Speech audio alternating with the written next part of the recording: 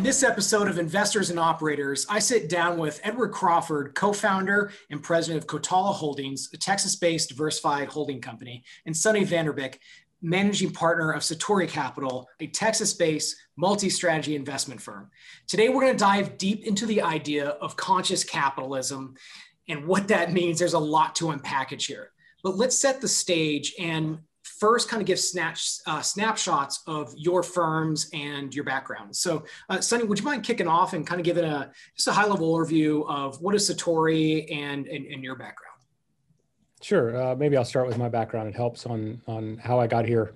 Um, so, long time ago, in a place far, far away, I was an Army Ranger. Um, ended up in the technology business. Um, after that, started a company in my 20s. Um, took it public, sold it, bought it back a year later, um, ran it for another four years, sold it again, learned a lot of hard lessons um, through that process. Uh, and as a result of what we saw going on in the world, Randy Eisenman, the other co-founder of Satori, and I decided we wanted to bring an investment firm into the world that um, had some different values and a different vision. Um, so we founded our investment firm on the principles of conscious capitalism. Um, today we have two core businesses um, one is a private equity stage business, invests in operating companies that are eh, typically five to 25 million in EBITDA, um, either a minority or majority investor. Um, and another business that invests in other investment funds. Um, and so I'll pause there um, because I think our, our yeah. story really ties in deeply into conscious capitalism as we go further. Awesome. Edward, uh, what's the background on, you know, how you led up to Coltala and, and what is Coltala? For sure, for sure. So I, I, started my career in the Peace Corps, which is an odd place to start your career, and that's where I started my first business. Machete wielding coffee farmers, about 300 of them. Built that in Dominican Republic near the border of Haiti, and lived in a little $12 a month shack. So that was my first big entrepreneurship business experience. And then went on uh, into the military. Uh, worked at Goldman Sachs for a while, um, and then built helped build a real estate private equity firm as well. And uh, really, the the tenets, the having kind of a mission driven life and caring about that.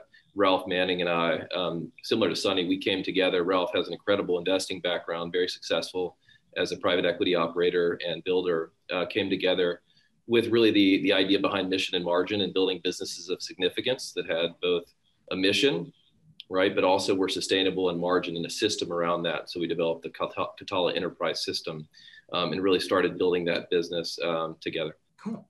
So let's dive into it. Sunny, what is the story of conscious capitalism? I saw the TEDx talk and I think it'd be just really cool to dive into what that actually means and maybe what it doesn't mean as well. Yeah, uh, I'll start a little bit with what it what it doesn't mean. Um, conscious capitalism is not kumbaya capitalism. Um, it's not a kinder, gentler, soft on the edges capitalism. The, the big idea is this like businesses work better when instead of prioritizing the shareholder, we prioritize all the stakeholders.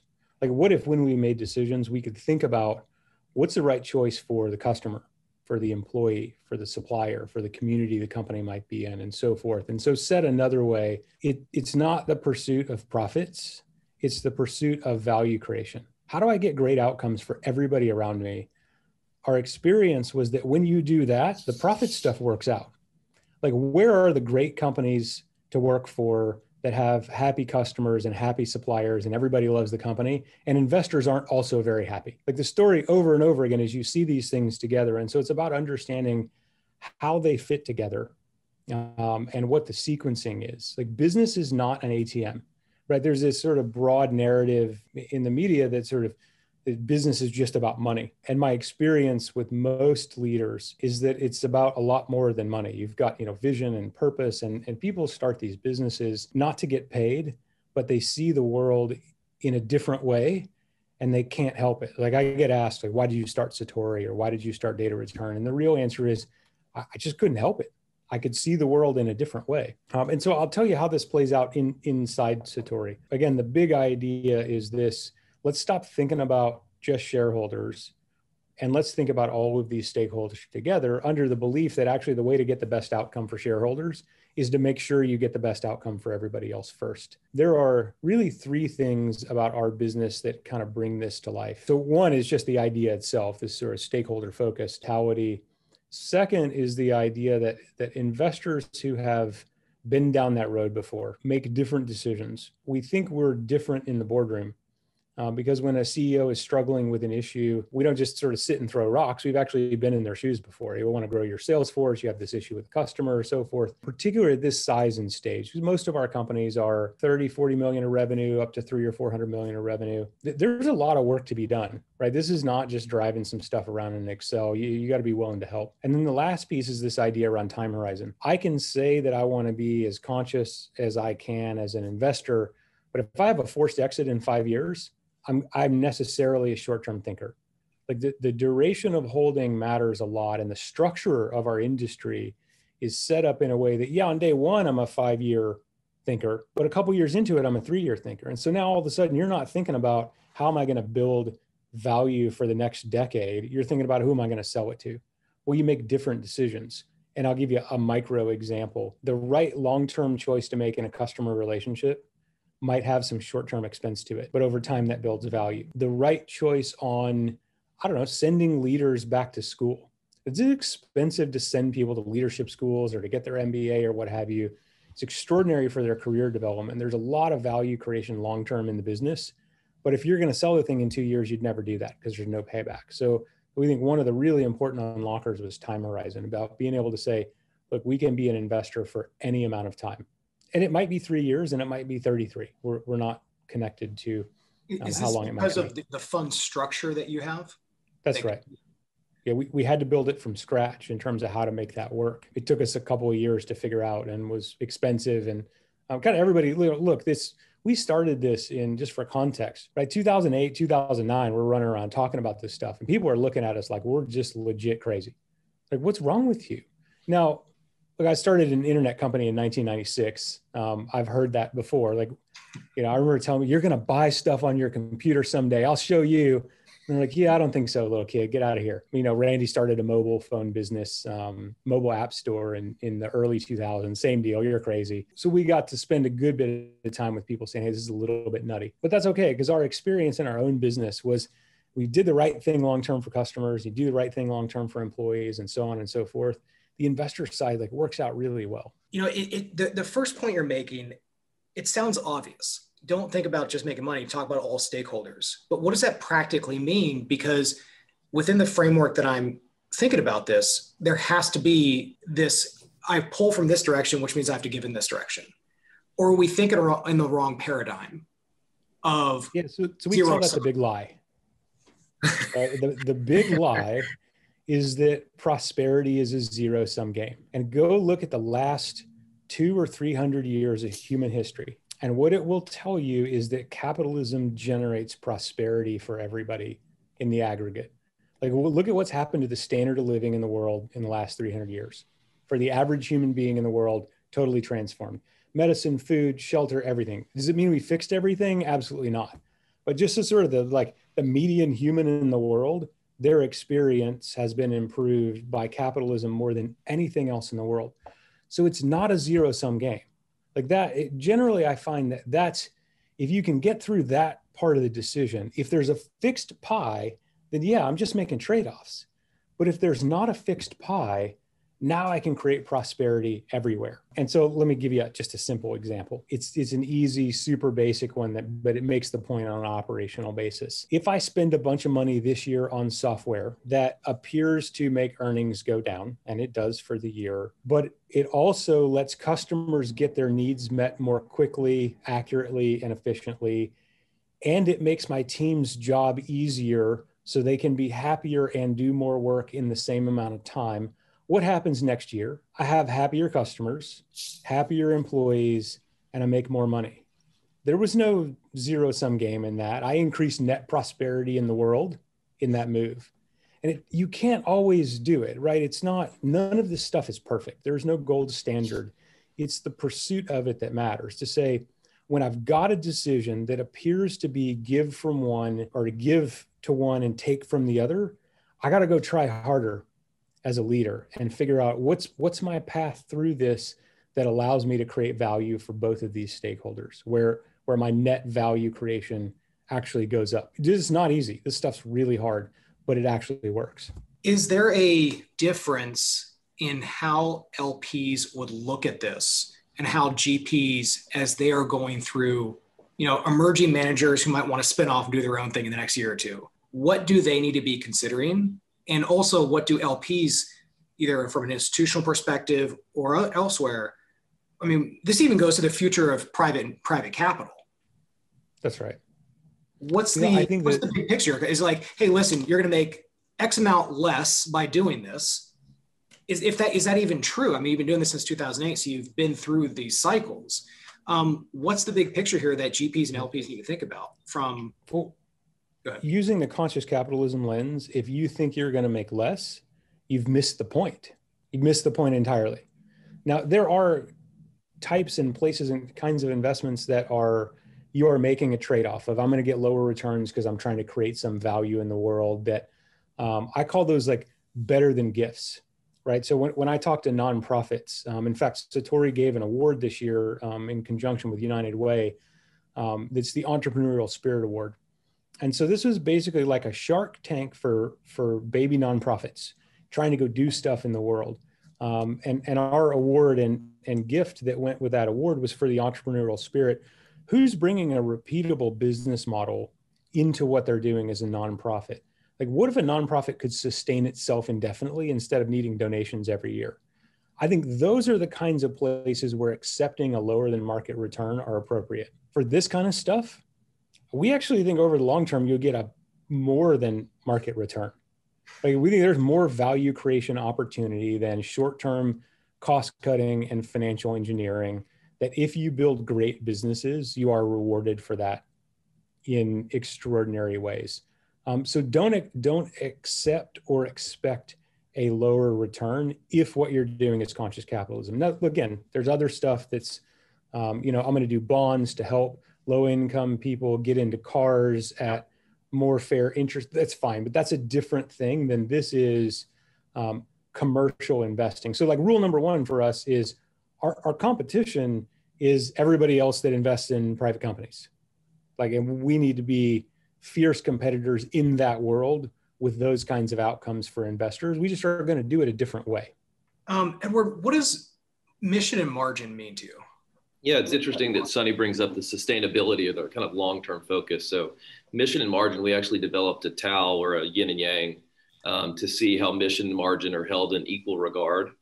And if you look in, I, I trained under a guy named John Elstrott and studied, you know, Grameen Bank um, and a lot of the you know, mission oriented businesses that did well and sustainable. And if you don't make a profit, you know, to Sunny's point, if you don't raise money and you don't have a long term thesis to your nonprofit, you're not going to be there to help the people you want to help. If you have a mission in your business to deliver a product or service to people, and you don't make a profit, you will not exist and you will not be able to do that. Right. And so the, the mission margin really have to hang in equal regard. And our mission is really to unlock the power of human potential, to not look at the spreadsheet, but to look at the human beings, the butts in the right seats, and the impact that you're having. Right. And then our margin is really our Coltala enterprise system.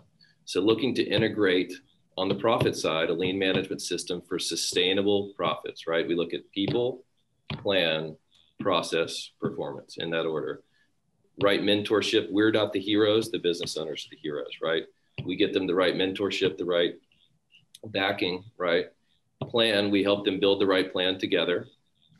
Process, we put in the right processes to create sustainability for the long term because some of these businesses are smaller and are more entrepreneurial in nature, right? And then we track that process and and and look at look at how it works. So really, it's um, you can you know have a great you can get you can give a lot you can try to you know help or have a great product.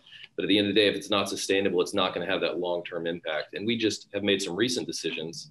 Um, if you look at short-termism versus long-termism we can hire great salespeople laterally into organizations that are rock stars um, that are kind of mercenaries and we can hope that they do well any given quarter or year right or we can hire young people in our HVAC business right now. We've, we've hired some military veterans, some younger people. So we can invest in a training program to train those people up and build a culture that's going to take us a long time to do. It's not going to be realized this summer during the cooling season, right? It might be a year or two years.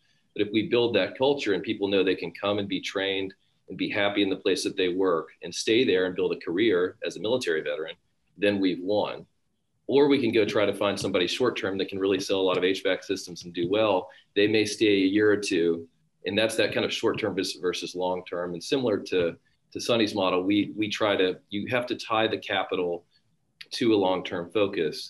If you have a fund structure that is strict and says you have to sell between year three and five, then you're going to be motivated to do certain things those years as opposed to building something longer and lasting to make an impact. So that's how we think about uh, about um, mission and margin. Very important to us. Uh, Ralph and I both come from a faith-based background as well, so that ties into it as well. We're only on Earth for a certain period of time. We want to make leave the Earth and the people um, in it better than we saw it, and so we see ourselves as as guides and kind of servants to the uh, leaders that ultimately are running a lot of these businesses. What do you think that the past year has done for bringing this different dynamic of you know what the industry would call ESG or you know in the conscious capitalism framework or in the mission and margin framework what do you think might have been different now as a result of this past year hand it off to Sunny. yeah, happy to take it. Uh, so I think one of the starting places on this, I think it's it's likely really confusing. Like, look, I've had the advantage that we're now over a decade of, of thinking about this stuff and working on it and hearing all the different flavors. And, and I think about it like a family that all has a similar mission, but they're all different. Like you get two brothers in a family and you go, wow, those are those are very different people, but they're kind of all headed the same direction and so ESG and conscious capitalism like are not the same thing at all. Um, and and all of you'll see all of these other flavors of this, but they are all speaking to some unmet need that we can expect more from business, and that business has a more important role to play in the world than just a thing where money happens. And so we're all going about it in different ways. And so the answer to your question, it kind of depends on how you're going about it. Um, what I do think though is the past year has raised the conversation up mightily on is this important or not? Right? Five years ago it was kind of like yeah yeah i don't know about that stuff. You know 10 years ago it was you're crazy. Five years ago it was maybe. A year ago it was hey that's kind of interesting. Like it's it's building some momentum. And so I, one of the things i'm appreciative of is to see all these different flavors of it come to the world. Because i can't say my flavor is any better or worse than anybody else's. It fits us and our experience and the way that we can be successful in the world. Um, and I'll give you an example that you know we haven't talked about much, but is it's somewhat relevant in this conversation. The team at B Lab and B Corp, um, and what they set out to do was to say, hey, we've got a legal structure issue. Um, that in the corporation there's some case law that says it's exceedingly difficult as a board to make a decision that preferences anything but the financial stakeholder. We got to fix that. And so they created a new type of corporation. And in many states now, they actually have some flavor of this new type of corporation that's legally allowed to care about these things. Now, in, in our case, because we're significant investors, um, and the other investors are probably the you know current owners of the business or the past owners, like we can also decide what the shareholders want because we're all in the room together. But I think this idea of giving people sort of legal framework to make great decisions is another important pillar. It's part of the family. And ESG is too, because in ESG, what they're saying is, look, we've got some things we maybe haven't paid attention to. And at a minimum, so I kind of think about that one as like, that's the minimum bar corporate America deal. Hey, we should probably stop dumping shit in the river. That's yep. probably a good idea. Good idea. Um, and, and, and so forth. And so it's like, those are great ideas. I can't tell if the ESG behaviors are, hey, they're just the right thing to do. So like, go fix that or if there's value creation opportunity in there i don't know. I do think it it, it removes risk. Um, we went and, talked to a company a while back who historically they were talking about this treatment system they had in, in the basement. They were manufacturing operation and they do plating.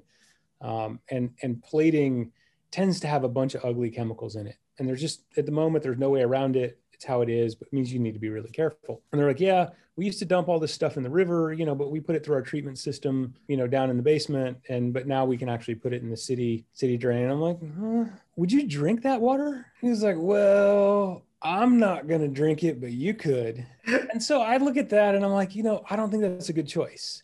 And you tell me, so if, you, if we were an investor in that business and you said, yeah, but it's going to cost us another 50K a year to not put it in the water system or not put it in the river. I don't need to talk a lot more about that. Let's go spend that money. Like, I don't even care if it's not against the law. there's some things we can just look at and go, that's just a bad idea. W- one of the ideas we have in conscious capitalism that's an easy way to like get at like, hey, what is this dude talking about? Imagine for a minute you're the owner of the largest company in a small town and your name's on the door of the company and you can never sell the business. How are you going to make decisions? When you see your suppliers in the morning at Dairy Queen, for those of you that have been in rural areas, right? That's it's hopping at the Dairy Queen at 6 a.m and your customers you're going to church with them. And your neighbors are also your teammates and employees. And so you live in an ecosystem where everything's near and you can see it. And oh by the way the river out back of the manufacturing plant your cousin's ranch is downstream of you. Now how are you going to make decisions? When you decide what you're going to do in this supplier issue how are you going to make that decision knowing that you're going to see them on sunday and your customers are your neighbors and so forth. And so that quick way to get at it, largest employer in a small town, your name's on the door. Now what are you going to do? I think that is a good sort of guiding way to look at how to make these decisions. For people who are interested, where can they learn more? And what are the big questions that they should be asking themselves? And what are the big misconceptions that they need to think through? I'll start with the last one first. The, the first big misconception, the big lie, um, is that prosperity is a zero sum game. If you got to get through that before you get through anything else. Um, but once you can hold that idea for a minute that, you know, if I spent some money on making the culture better, the team would be happier and more productive, and maybe our economics would be better, right? As soon as you start to think about it that way, it's not a zero sum game the second piece you got to get your head around is time horizon. Right? If you're only thinking about this month or this quarter or this year, you're going to tend to make decisions that preference the financial lens too much. You got to be able to think longer term. Now that can go too far. If you only think in 10 year increments, you may run out of oxygen. So, you know, this this idea of balance is mission and margin is important. You do need to think about them both. Um, and then the last piece is just if you're going to make an important decision, stop and walk through each of your stakeholders and say, how will this decision affect that stakeholder? And if the answer is a negative effect on that stakeholder, just ask yourself, do I have a better way? Is there a better idea here where I could create positive outcomes for all these stakeholders? And you won't always get it right. You'll miss stuff. You'll forget people. You won't be able to solve the problem. And that doesn't matter. What actually matters is it's a little bit better every day. Now, I think this this idea of leave it better than you found it is a really important one, right? No perfection, only progress. And if every day we're a little bit better than we were the day before, we're a little more conscious, we're a little bit better place to work, our customers like us a little bit better. Like we're actually making the world better by doing capitalism. How cool is that? So it sounds like one of the I mean one of my big takeaways from this is just changing the framework or the lens through which you operate in a day-to-day basis. You know step one you know lens one is a principle based considering all stakeholders not just um, focusing on the financial aspect of it which is part of you know got to make your lps happy got to make the you know the investors in in the institutions. But it's it's it's changing the mindset to not be zero sum focused and taking everyone into consideration. Edward, what, what do you think is in you building up Coltala with the team? Kind of what is your big message to everyone on how to think about mission and what has been working with you and the portfolio companies? Yeah, I think what, what works for us is there's when you when you create a culture where people love what they do and they wake up and they're excited about it because there's a there's a mission component to it. You know, I remember in the Peace Corps, you wake up every day and you're like, I'm going to try to change the world. Now, you get your face kicked in, you lose 50 pounds, it's hard. You try to start a business, you've always got those tough things each day. But when you're trying to build a culture with a real mission, you're making a difference. And, and I'll, I'll give you an example. We in home health, we have a segment of home health called hospice right? And hospice nurses are like God's angels here on earth. And we look at what I've been there, do. done that two times. My yeah. dad and brother. Yeah. And so when we look at what business we're going to invest in and the impact we make, uh, and we look at supporting those nurses in a time like COVID where they're at home or somebody's stuck at home. You have an elderly person. My grandmother recently had COVID, uh, got it on Thanksgiving. She's 99, will be 100 if she makes it. right, uh, in February. And, um, you know, you look at who takes care of her, right? And then you look at the hospice nurse, God forbid she ends up in that situation. And that nurse is the best friend of our moms and dads um, as they go into the final stages of their life and slip into the next life, right? And that person that's there with them, guiding them through that, it's it's it's super important that that we do that business, right? And and not that it be done, but that it be done right. That seven days after that person has left the earth, that there's not a bed sitting in that person's house that the family has to come and figure out how to get rid of right? And so doing those small things well. And so that's where the margin the system comes through. If you're if you've got a you know two out of five ranking in your hospice business and you're not really delivering a high quality of service what are you doing? So the more competitive the more continuous improvement you have on that business as you get closer and closer to a five out of five the better you are serving that person, that that mission. And so that you know, we really think about it when we look at a business. Our HVAC business is similar. We want to treat people with dignity, respect in their home, and an experience that can be intimidating. You can have someone in your home saying, "You're going to need to spend fourteen thousand dollars to buy a new system," and they can be aggressive about that. We choose not to do that. We will fix the system. We'll set you up with a Gold Star family plan, for example Gold Star families, everyone on this call knows what that is. We try to treat our families by being long term and saying, hey, we'd like to set you up with a service agreement and, and have you as a customer for 20 years, not sell you a system you don't need. We also make donation to Gold Star families as part of that, right? And so we try to think of how, how do we, you know, how do we treat our customers and then how do we hire kind of Gold Star quality techs to go into homes right? We think about it through all those different lenses. And that's one of the things I love about conscious capitalism is looking all those different stakeholder models and truly, truly trying to find that alignment. And for me, um, going into private equity was, you know, the private equity side of business was not something I was interested in. I would have loved to be a Peace Corps volunteer, be in the military my whole life, or, or you know, um, serve in the government, make an impact. But I saw, to Sunny's point, I learned from John Elstrott and a lot of these others that you can have a massive impact on human lives in business and actually more than you can uh, in public office, more than you can in many other in many other areas of life. Um, but that balance has to once again be there. And the margin part, you, you've got to be competitive. You've got to be continually improving. You've got to have A players because it's very competitive out there. And if you get soft, um, and some of the ESG things I think are great initiatives, but some of them aren't really great sustainable ways to do business. If you get soft and you lose, then all your employees lose, all your customers lose their best supplier, their best um, person they work with. So that's a, that's a little bit of kind of how we think about it. You know, to, to even apply this to what we're doing at the, you know, four person digital marketing firm is just like one of my key takeaways is also just having a service mentality or a servants mentality know, is how can I serve people first? And I, I think that sometimes gets lost, especially in the chaos of running a business and like like you got to do this $25,000 project, $50,000. I just got to find a way to get this across the finish line. And sometimes I forget even about the team. And it's like, wait, go back to being a servant. Like, how can I, am I servicing my team as a leader and taking care of them? Um, as an equal stakeholder to your, to your point like they are an equal stakeholder in this like i'm not running a private equity firm but how can i apply that mentality? And so that's one of my big takeaways. Um, and i think another big takeaway is it doesn't have to be a nonprofit donation or use of your calendar to still have an impact. Impact can be in business.